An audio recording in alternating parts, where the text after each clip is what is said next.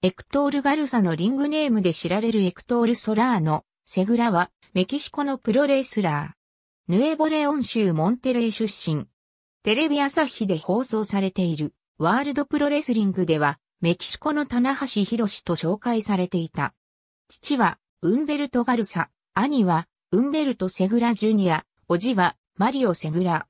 1992年9月4日、モンテレーにてプロレスラーデビュー。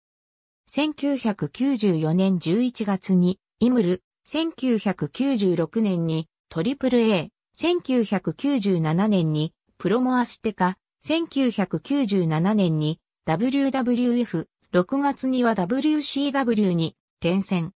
1999年に再びトリプル A に復帰し、2004年にはティネに参戦するが、2005年にはステロイドの不法所持で逮捕され解雇。そして再び CMLL に復帰。